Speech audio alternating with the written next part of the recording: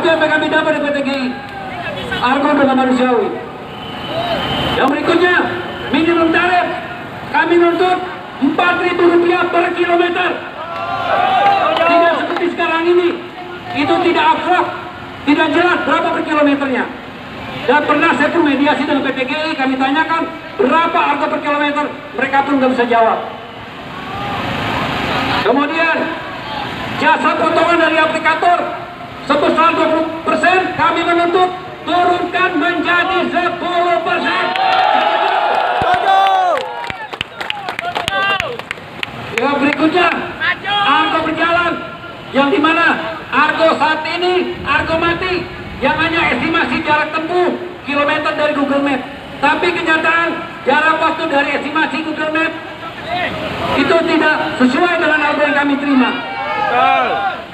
Jadi kami merasa saya dirugikan oleh tarif oleh PT GI kadang mengikuti Google Map itu harga dan tarif udah nggak sesuai lagi Pak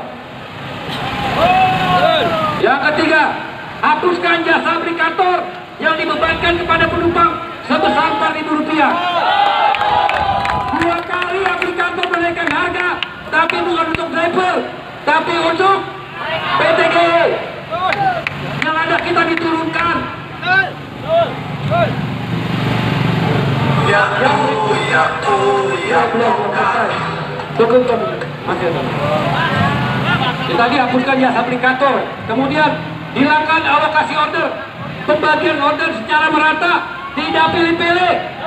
Sekarang ini kami rasakan pembagian order tidak merata. Di mana PT GI tidak memperhatikan kami.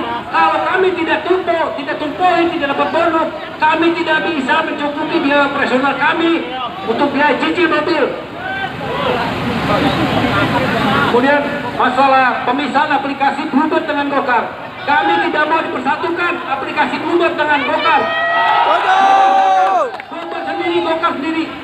Sekarang selama ini orang order Gokar, keluarnya yang datang Bluebird. Kami terkadang hanya dapat sisa orderan dari Bluebird Indonesia. Dari Gokar yang ambil Bluebird, dia nggak ambil, baru mental ke kami.